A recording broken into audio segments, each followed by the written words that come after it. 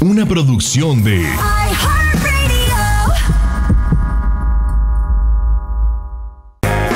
Si eran, así nacieron. Esto solo te hace crecer. Tres mujeres diciendo una que otra sandez y buscando aprobación social. Todos, todos estamos traumados. Laura Manso, La Margator y Adina Chelminsky presentan Tú necesitas un psicólogo, tú necesitas un psiquiatra. La Burra Arisca.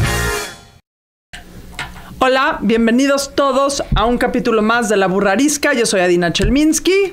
Yo soy la Margator. Yo soy Laura Manso. Este octubre, como todos los octubres desde hace muchos años, es el mes de conciencia del cáncer de mama.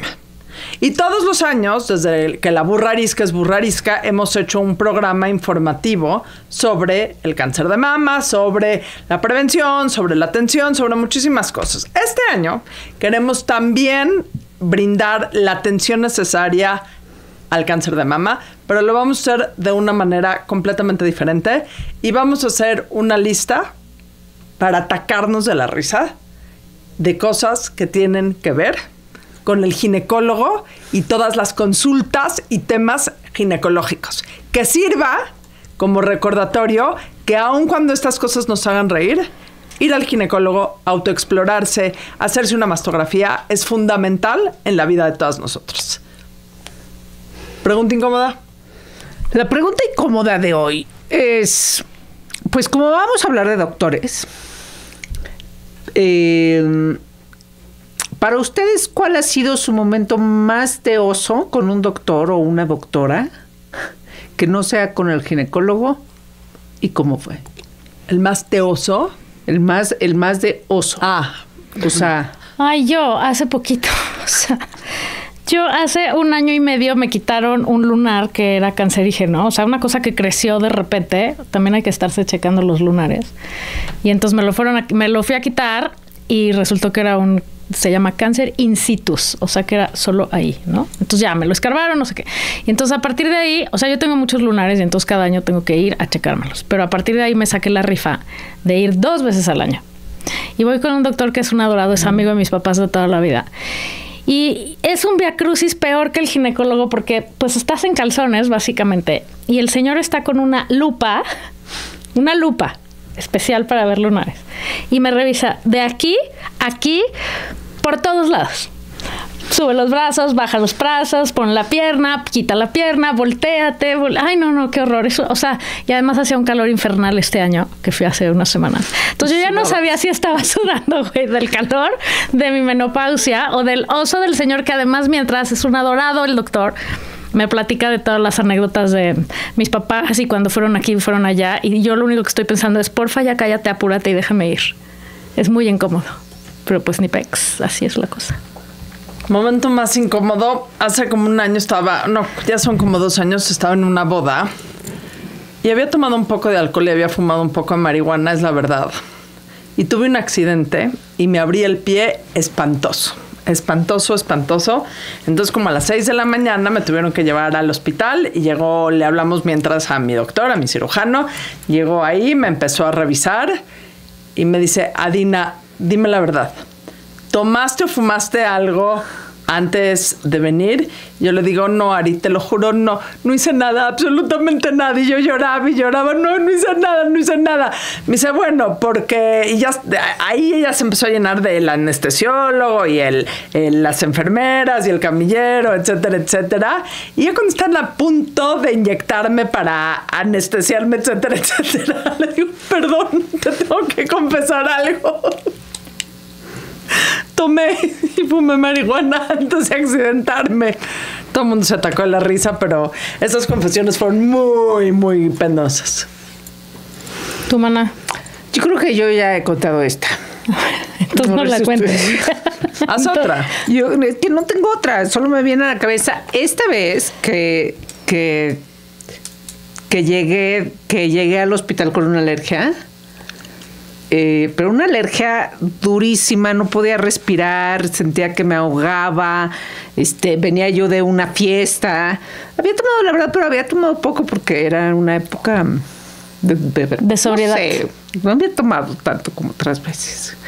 Eh, Pero la verdad es que llegué en un traje de gallina, de gallina, en una botarga de gallo, porque había estado yo en una, o sea, la fiesta tenía unas luchas de gallos. Y me había pasado yo hora y media tratando de tirar a mi contendienta a los empujones, porque me O todos sea, mis amigos ¿Llegaste ya habían perdido. vestida desde tu casa o fue un disfraz que te dieron en la fiesta? Fue un, no, fue un disfraz. Ah, fue un disfraz de la fiesta. Ok, ok, ok. Y entonces te lle- llegabas al ruedo de gallos, de la pelea de gallos, te ponías tu disfraz de gallo. Por ningún motivo yo diría yo quiero jugar a eso. Yo tampoco había jugado hasta que todos mis amigos perdieron y les dije, oigan, son unos losers. Voy Son yo. los gallos. Voy yo a rescatar y te dio alergia al traje. Y me dio alergia al polvo, a la tierra, claro, porque además te azotabas, te levantabas y entonces el ruedo era, pues, tierra. Y pueden creer que no me declararon ganadora.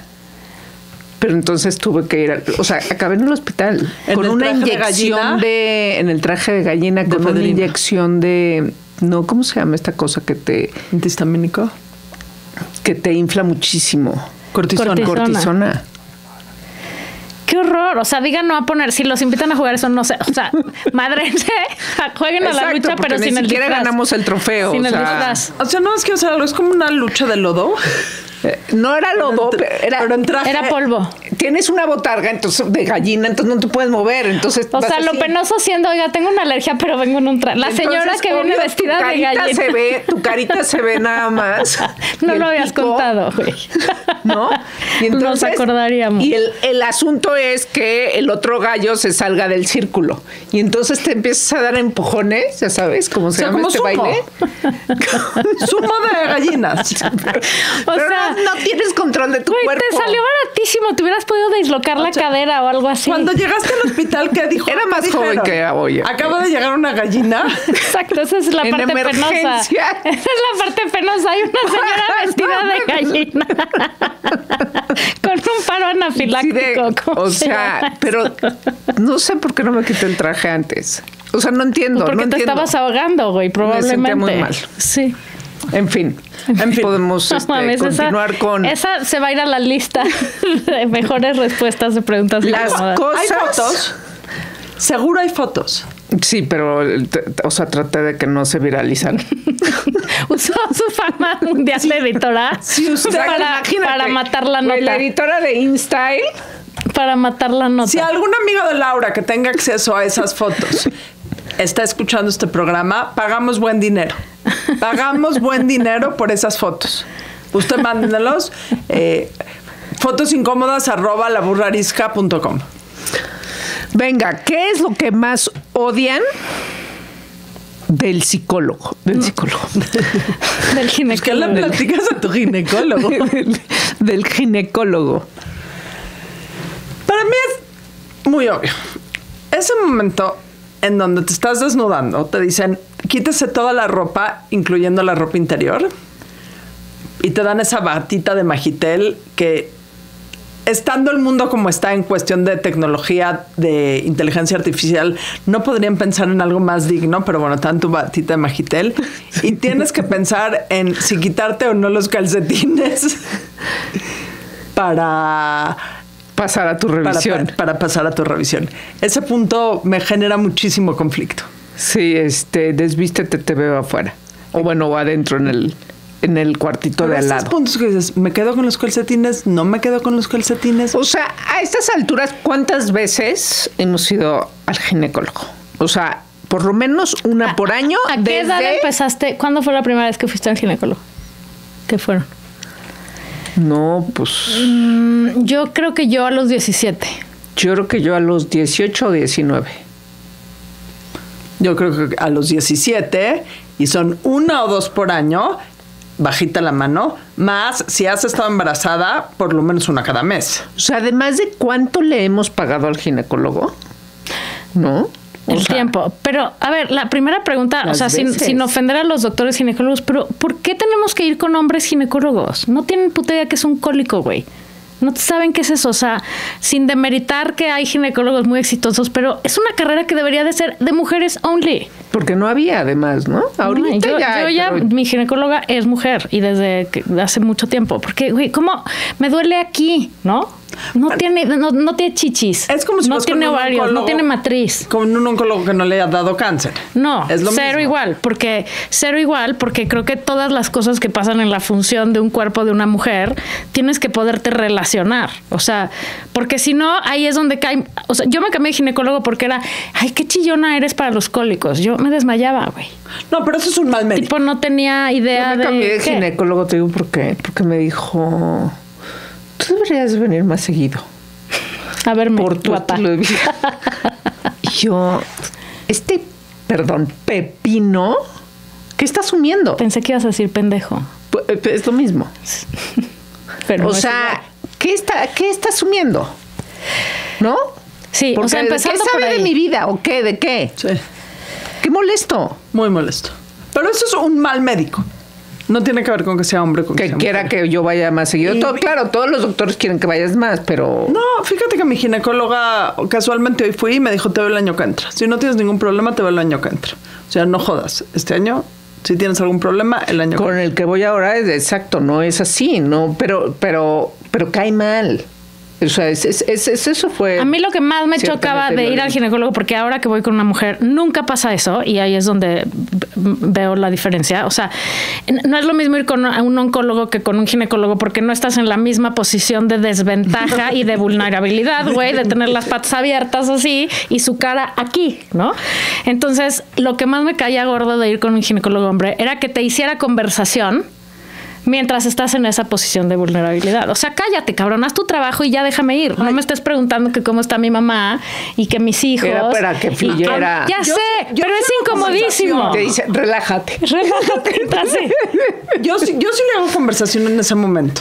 O sea, yo sí le contesto. No, yo, yo, le, yo le cuento. O sea, no es para que me pregunte, yo le cuento, le cuento esas cosas. Ahora, eh, hablando de tecnología, ¿por qué no han inventado un mejor aparato? Deja la toallita de Magitel que te pones. La pinza esa. Le- El donde te sientas, donde abren las piernas que parece un aparato del medievo. Y luego ¿De imagínate, tortura? imagínate un aparato que de tortura. hay hospitales en donde pretenden que la mujer dé a luz así, en esa postura, totalmente antinatural, sin nada de fuerza. Estás acostado. Como debe ¿Cómo ser. pujas? Pues, o sea, ayudándote con la gravedad. en- como parada. Pues, o en cuclillas, o, ¿no? O sea, ayudando a que el cuerpo ayude a bajarlo. Imagínate que hay hospitales donde te ponen las piernas arriba, te acuestan y te dicen puja. Pues, ¿cómo? ¿Ustedes tuvieron a sus hijos naturales? Sí, yo en el agua. Yo, cesárea. Sí, yo psicoprofilácticos porque soy una miedosa profesional de las agujas. O sea, mi primo me tienes que alcanzar antes de inyectarme algo que no es indispensable. No quería eso. No, pues yo hubiera dicho a mí, duérmanme. ¡No! ¿Cómo que duérmete? A mí denme el cóctel que les daban a los, A en los 70. Sí. No. O sea, nada más de ver cómo es, qué estrés, qué nervio. ¿Sabes qué? Que una cosa que yo pienso de los ginecólogos y el tema de la mujer es que tú que eres muy feminista, mana, igual que nosotras, es, es- es uno de esos lugares en donde el patriarcado puede, o sea, la figura hombre puede aprovecharse muchísimo del, del otra vez, de la situación y el momento desventajoso en el que estás. Y yo Ah. creo que mucho de eso es, entonces te anestesio, entonces te abro, entonces te corto, entonces te, desde, te programo la cesárea. ¿no? Porque yo sé más que tu cuerpo. O sea, como que todo eso me parece una podredumbre que qué bueno que hay cesáreas para la gente que las necesita cuando las necesita.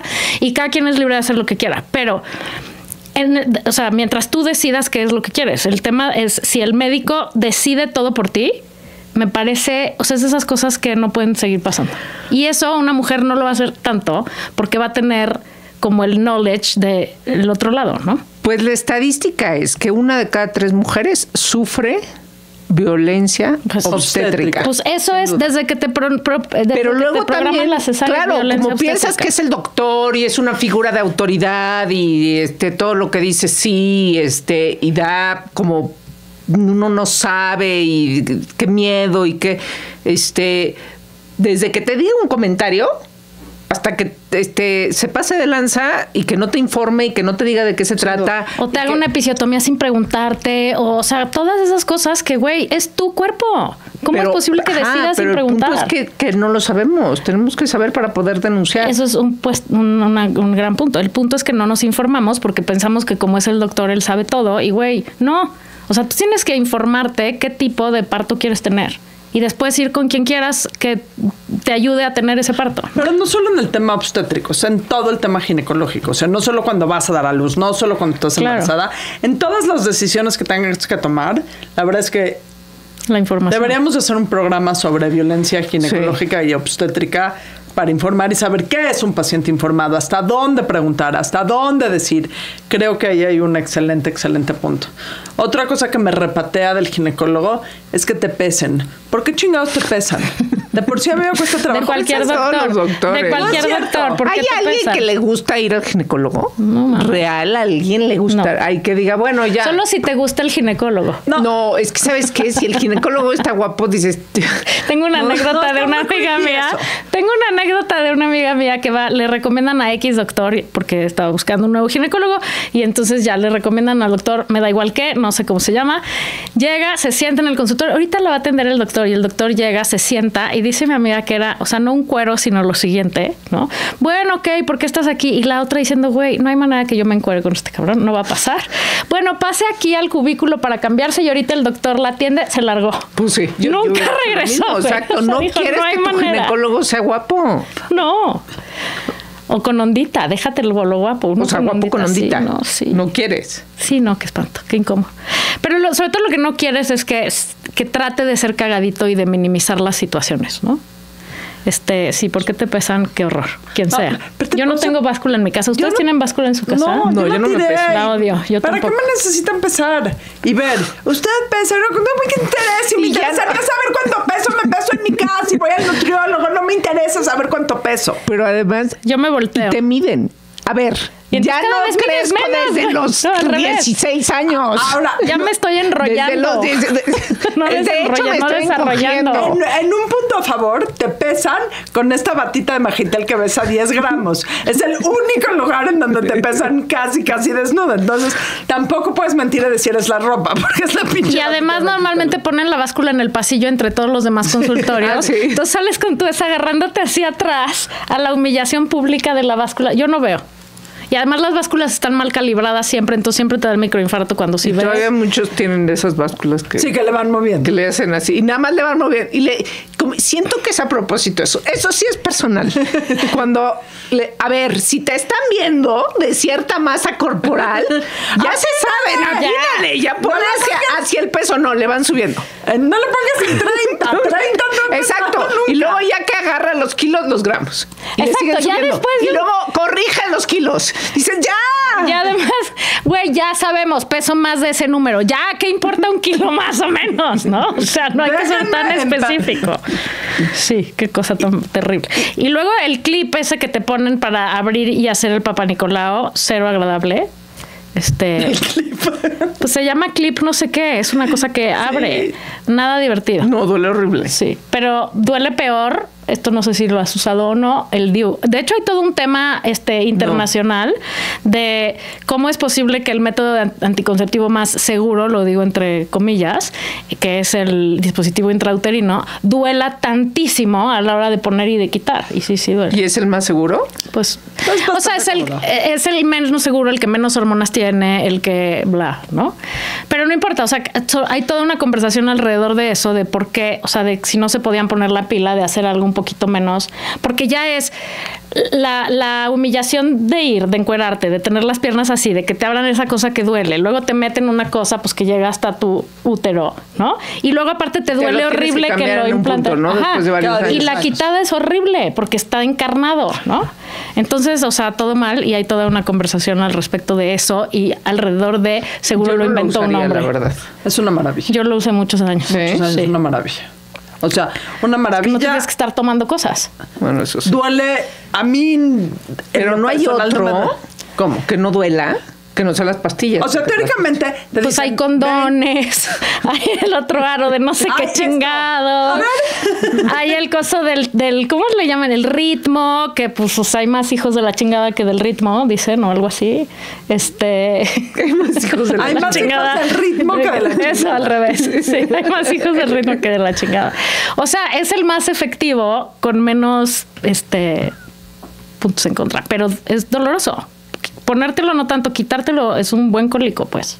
O sea, no se puede deshacer. A ver, tecnología. Pues ese es, ese es el, discurso que los Lo que la pasa es que necesitamos a más doctoras Y científicas. y científicas investigando Sin duda. cosas de mujeres, porque la verdad no sabemos absolutamente eh, nada. ¿No? ¿Qué otra cosa o de dónde es un ginecólogo? Ir, por supuesto, cada año. O sea, es, te tengo que ir. Yo siempre voy así como Pero por estas fechas. después. Yo me lo pongo en mi mes de cumpleaños. Sí, ya, pues dices palomita, fiu, todo bien. Este, pero como que así que digas, hijo, ya quiero que llegue la fecha. No, bueno, pero de ningún doctor, ¿no? O sea, vas emocionado a cualquier doctor. Al cirujano plástico. Pues sí, si alguno fuera así.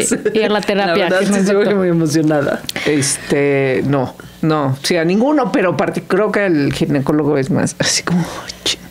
Me, me cuesta más trabajo el dentista.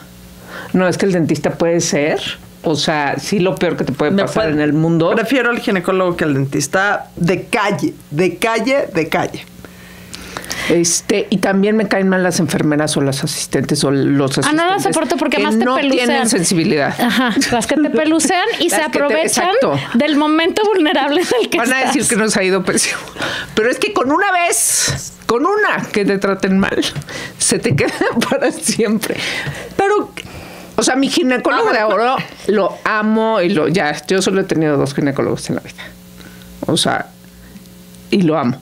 Pero la mala experiencia que fue una vez, con esa fue suficiente. Pero con el ginecólogo pasado. Con el pasado, con el que me peluzó. Oye, y que te, que te hablen en un minuto. en- A ver, mi, mi reina, acuéstate tantito. Te voy a hacer tu papá Nicolau, preciosa. Cállate la boca, cabrón. No me digas eso eso. es violencia, eso Sí, no sí, sí, de- sí, no. sí, Sí, sí. Y las enfermeras hacen lo mismo. A ver, Linda, súbete a la báscula. O sea, mejor hagan el, la las guasa de enfermeras este es que el han momento absorbido el patriarcado en su ser, ¿no? Y se convierten en estos seres de mal humor. Este, no, no. Please, no. Ahora, otra cosa que me choca, y aquí me da muchísima pena con la gente que está grabando este programa, que son hombres. Perdón, no creo que voy a decir esto. Pero el ultrasonido vaginal, ¿qué pedo? O sea, ¿por qué hacen esa? ¿Por qué inventaron ese aparato? Ay, te has metido peores cosas, güey. O sea, ¿quién quieres Sí, pero engañar? no enfrente de alguien más. y luego te, o sea, luego te están haciendo el ultrasonido vaginal y te dice, este es tu ovario. A mí no me expliques, no parece ovario, no tengo idea qué es. Acaba rápido, saque el aparato explicar. Yo nunca he logrado entender los, este, los ultrasonidos. O sea, todo que el ultrasonido de la mama. No, a ver, me enseñan en la pantalla y yo digo, neta, siento que me pueden estar enseñando. A mí me los hace mi mamá. O sea, ¿Bambi? I Sí. raise you that. A mí mi mamá me hace el Pero tú, ultrasonido pero, tú, endovaginal. pero tú sí entiendes, tal vez tú, tú le tienes No así. de- tanto. No, no, sé, ya a mí también. Pero igual es de más, no me interesa saber dónde está mi horario, mi, mi horario, mi ovario. Ya vas a acabar, porfis. O sea, ya A sigamos la conversación. A mí también me los hace la mamá de Valeria y déjame decirte que la doctora explica súper bien. Es diferente un ultrasonido de chichi que, su, que es menos incómodo que el vaginal. Ahora, en eso sí, bien. en eso sí, a los güeyes les va peor, porque imagínate que te lo hagan en el, ¿cómo se dice? En el pirrín, No, En el pililín, en el ano. en el cuchuflies. no hay ultrasonido de próstata. Si alguien nos está escuchando, Claro que hay, sonar, claro que hay. Claro que hay. Hay ultrasonido Por de próstata. supuesto. Sí hay. Claro que sí. Y hay de Hay ano y hay de ultrasonido todo. Pero O sea, el ultrasonido hay tacto. en realidad es No el hay aparato. ultrasonido. No, claro que sí. Te lo meten por el ano. Básicamente.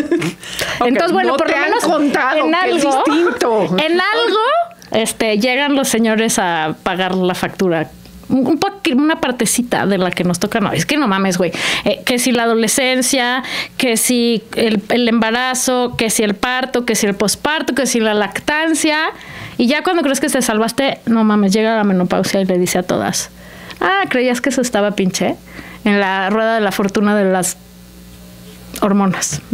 Como de Oigan, mujeres. el tema, disculpen la interrupción, pero es que el tema del cáncer de mama pareciera un chiste No es. que, a ver, tiene, es una enfermedad que tiene alta probabilidad, alta, altísima probabilidad de curarse si se detecta a tiempo. Como todos los La cánceres. tragedia en México es que en México ha aumentado, tengo, perdón, unos datos, pero tremendamente A la ver. incidencia y las muertes, porque, pues porque, ¿qué les digo? Porque no hay apoyos, porque no hay medicinas, porque cancelaron todo tipo de Y porque hay una idiosincrasia enorme. ¿Saben cuándo fue el, el punto que revirtió el crecimiento del cáncer de mama en Estados Unidos? Cuando empezaron a anunciar eh, todo el mes de prevención en la NFL y hicieron una campaña targeteada a los hombres para que incentiven a sus parejas o a sus mujeres cercanas a revisarse el- las chichis. Hoy creo que todo octubre, toda la NFL, que es esta Asociación de Fútbol Americano, se pinta de rosa. Y es algo que no pasa en México. Uno de los principales problemas que hay en México en torno a la autoexploración o a las mastografías es que hay muchos hombres que siguen diciéndole a sus parejas o a las mujeres que, lo, que los rodean que no se exploren. Que, que te toca la chichi un doctor o una doctora o un técnico es pésimo. O sea, ahí hay un tema tototota de idiosincrasia. Sí el sistema médico, sí el sistema de salud, sí... Pero no en ese sexenio, particularmente en ese sexenio, porque ha habido unas campañas brutales. Sí, sí hay unas campañas de- muy o sea, grandes de En prevención. este sexenio, entre 2019 y 2022, esto lo saqué de una columna que escribí hace poco, las muertes de mujeres con cáncer de mama que no contaban con seguro social se triplicaron. Sí. ¿No? Entonces, eso quiere decir No hay que no hay, acceso a donde- medicamentos. no hay acceso a servicios de salud. Y no hay medicinas, y sea, no hay medicinas. Y este, y, y además el, el cáncer de mama le da, entiendo, tiene una incidencia bastante alta. Le da una de cada tres mujeres. ¿Cuántas, digo, haz la cuenta, cuántas mujeres 33%. conoces cercanas a ti que han tenido cáncer de mama? Muchísimas. Yo también, muchísimas. Y otra cosa que ha pasado es que antes el cáncer de mama era una cosa que sucedía, sobre todo si tenías antecedentes familiares y si no tenías antecedentes familiares después de los 50, ¿no?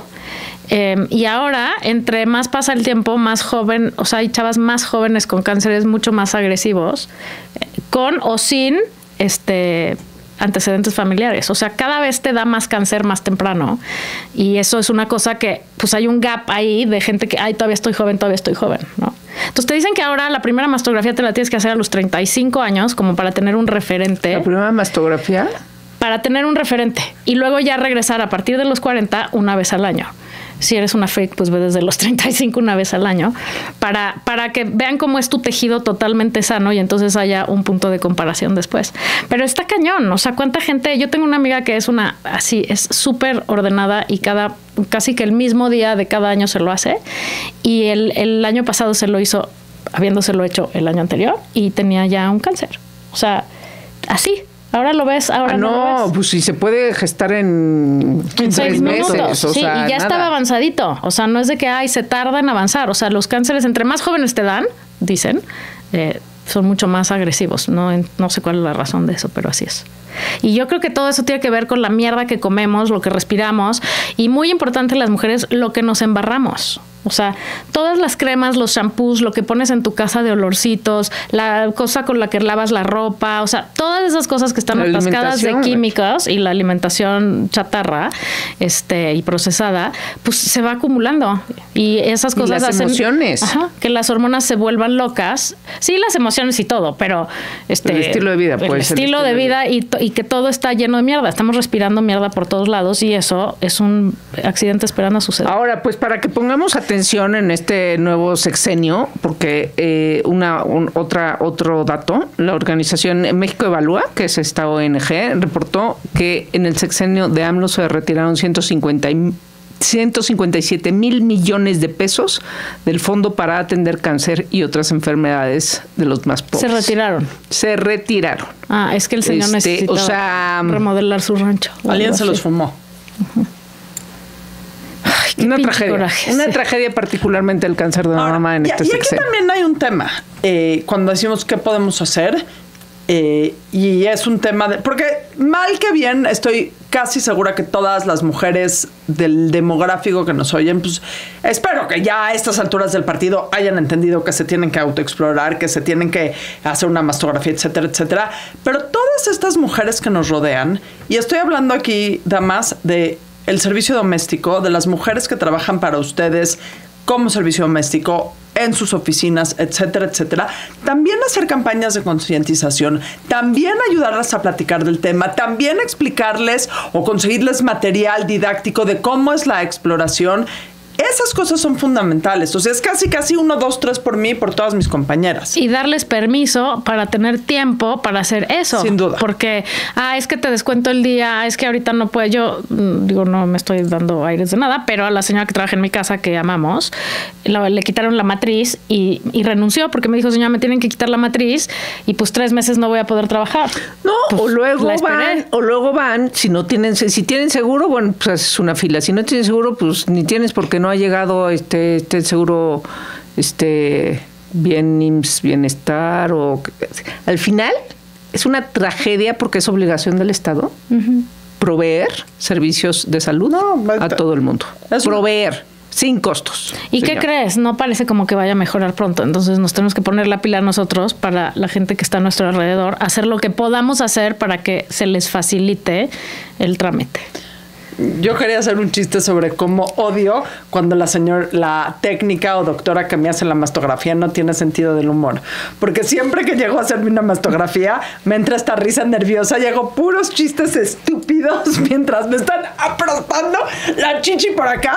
Y generalmente no tienen nada de sentido del humor, absolutamente nada de sentido del humor. Entonces, si usted es médico, técnico de mastografías, ríase con sus pacientes.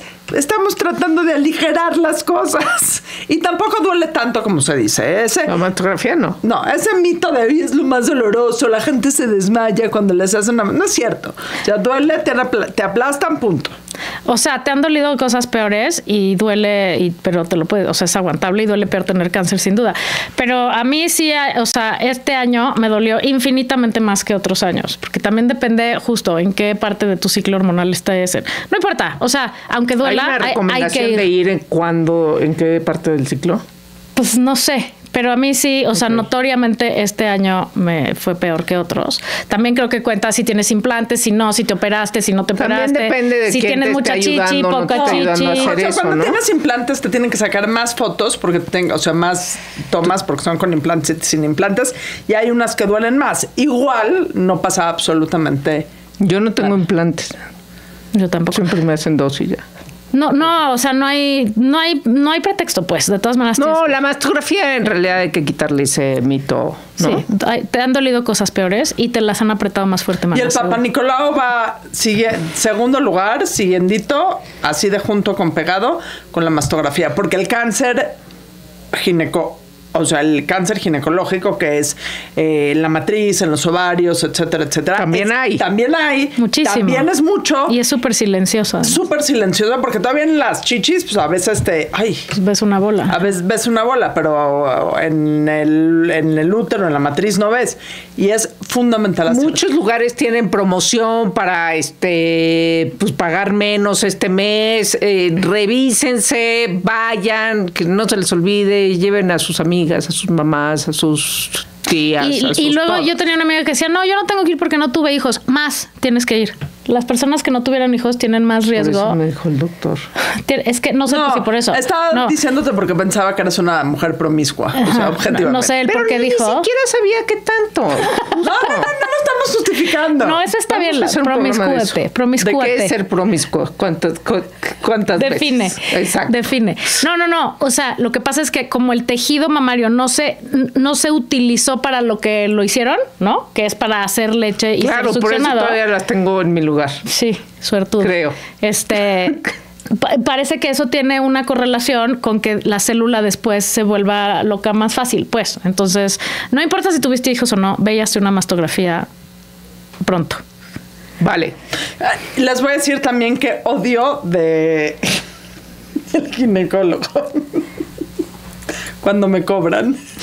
¿Cuánto te cobran? O sea, ya fuiste, ya te pusieron la de esta de Magitel. Y además Ya tienes que ya pagar. te- ya te empezaron, ya subiste los pies a esta inmunda cosa, ya te hicieron el ultrasonido vaginal, ya te hicieron el Papa Nicolau, ya te preguntaron todos tus hábitos sabidos y por haber. O sea, deberían de ser como que una mezcla de eh, psicólogo y ginecólogo al mismo tiempo, entonces ya platicas todo al mismo tiempo y después O por lo que menos pagar. que rifaran una cita gratis a la, en la tarde, ¿no? O sea, ay, a ti te tocó la que es gratis.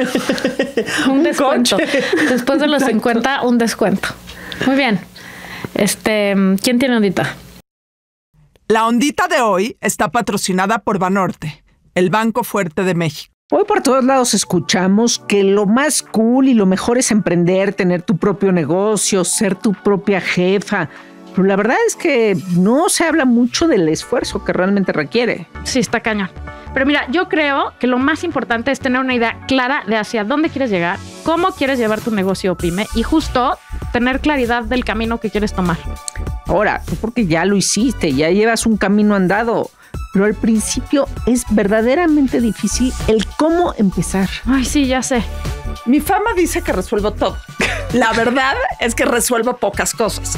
Una de las cosas que realmente creo que resuelvo bien es el tema financiero para las empresas y para las emprendedoras con su pyme. En Mujer Pyme Banorte te acompañan en todas las etapas del camino. Luego tu cuenta y te ayudan a administrarte y te dan asesoría en todas las etapas del proceso. No, pues así ya, sí, obvio dan ganas de emprender a la de ya, mana. Bueno, y así, con estas herramientas, te da gusto y lo volverías a hacer. Porque ahí les va.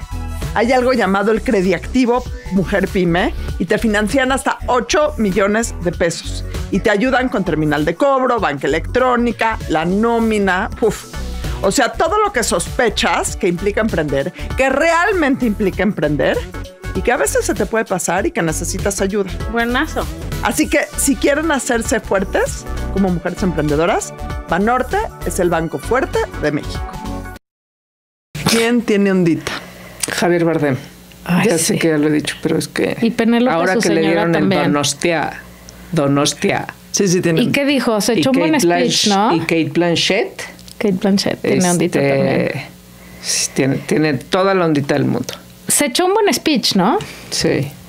Ese güey tiene ondita sobre todo por las cosas que dice, porque varias veces da unas se desvivió por su mujer, le Le dijo, dijo que la amaba. sí. Este, no, no, no, no, no. O sea, Y no hace, puede a alguien que no le guste Javier Bardem. y hace, hace no tanto también en alguna entrevista que le hicieron, le hicieron una pregunta de que si la mujer con la que compartía la pantalla, no, no sé, X cosa, y el güey paró la entrevista porque dijo, eso no procede, eso es un comentario Es un- totalmente este- machista. Ese, ese es un caballero. Un caballero con ondita. El que no tiene memoria. Acuérdense de darle clic, compartir, gustar, campanita, lo que hagan a este programa. Recomendarnos. Y hacerse una mastografía y tocarse las chichis. Y revisarse los lunares la y próxima. todo lo demás. Adiós.